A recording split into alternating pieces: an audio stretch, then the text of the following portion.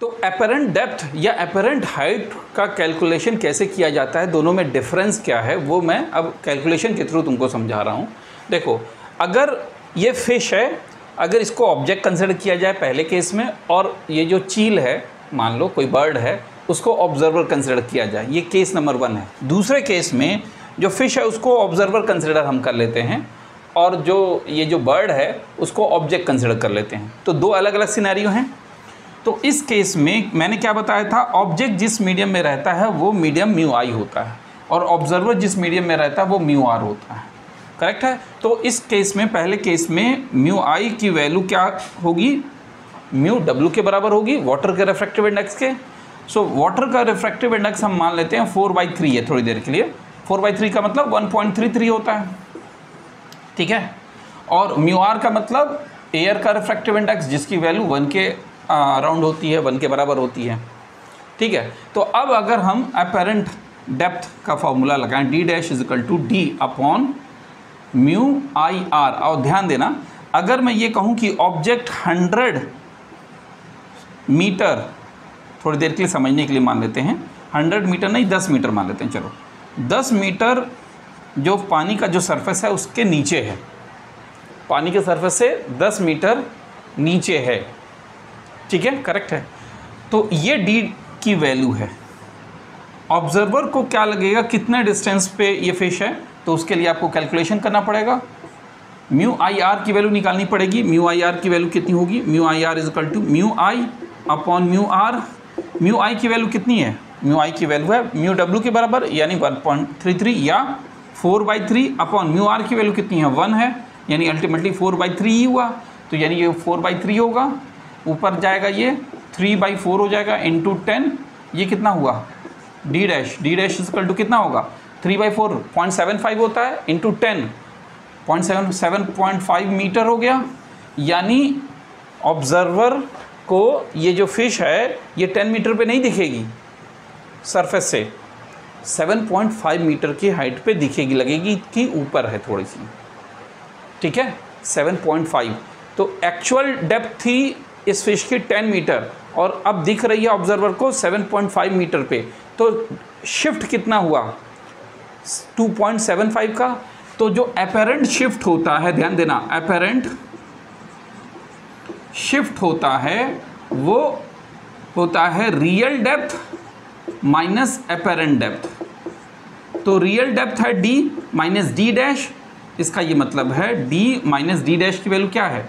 D upon mu I R यानी apparent shift हो गया one minus one upon mu I R के बराबर हुआ। अपेरेंट शिफ्ट और इसी की वैल्यू होती है 2.5 अभी जो एग्जांपल हम लोगों ने किया है, उसमें अपेरेंट शिफ्ट की वैल्यू 2.5 मीटर होगी। और रियल डेप्थ कितनी है? टेन मीटर अपेरेंट डेप्थ कितनी है? 7.5 मीटर और अपेरेंट शिफ्ट कितना है? 2.5 मीटर करेक्ट ये पहले एग्ज़ाम्पल में हो गया। अब दूसरे एग्ज़ाम्पल में कहते हैं ये मान लो ये बर्ड जो है सरफेस से टेन मीटर की हाइट पे है। कितना? टेन मीटर की हाइट पे ये बर्ड है, पानी के सरफेस से। अब बताओ, क्योंकि ऑब्जेक्ट जिस मीडियम में है, उसको म्यू आई कहते हैं, वो है म्यू ए, यानी एयर का रिफ्लेक्टिव इंडेक्स। उसकी वैल्यू वन होती है। और जिस मीडियम में ऑब्जर्वर होता है, वो होता है म्यू आर, यानी म्यू ऑफ़ डब्लू। उसकी वैल्यू फोर बाई थ्री है। अब फॉर्मूला लगाते हैं, डी डैश ठीक है इजिकल टू अब इसको डेप्थ ना कह के हाइट के कॉन्टेक्स्ट में बोलेंगे। अपेरेंट डेप्थ नहीं बोलेंगे, अब इसको apparent height H dash equal to H upon mu I R H dash क्या है? अपेरेंट हाइट एच क्या है? रियल हाइट और म्यू आई आर तो वही है कॉन्टेक्स्ट आपका। अब देखो, इस केस में म्यू आई आर की वैल्यू कितनी होगी? Mu I R equal to mu I upon mu R mu I की वैल्यू कितनी है? वन म्यू आई की वैल्यू कितनी है? वन और म्यू आर की वैल्यू कितनी है? फोर बाई थ्री तो ये कितना हो गया? थ्री बाई फोर हुआ। म्यू आई आर की वैल्यू यहाँ रखते हैं। तो H dash is equal to और रियल हाइट कितनी है? Ten meter so ten upon three by four four ऊपर जाएगा। Four by three into ten कितना आएगा? Forty by three forty by three कितना आता है? Forty by three H dash is equal to thirteen point three three meter कितना आएगा? Thirteen point three three metre आएगा। अपेरेंट हाइट हो गई thirteen point three three metre correct है? Point याद रहेगा?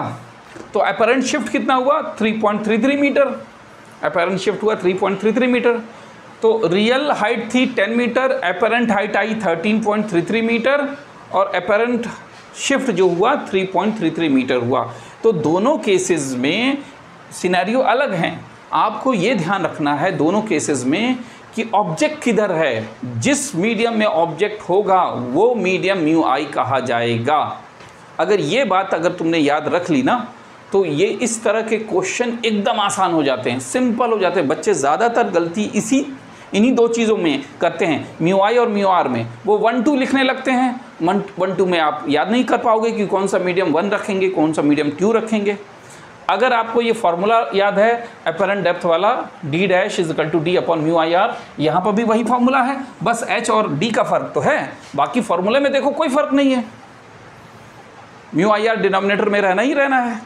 तो आपको म्यू आई अगर कंफर्म कर लिया आपने कि ऑब्जेक्ट कहाँ है, वो मीडियम म्यू आई है। ऑब्जर्वर जहाँ है, वो मीडियम म्यू आर है। तो आपसे इस क्वेश्चन में, इस तरह के जितने क्वेश्चन हैं ना, उनमें कभी कोई गलती नहीं होगी।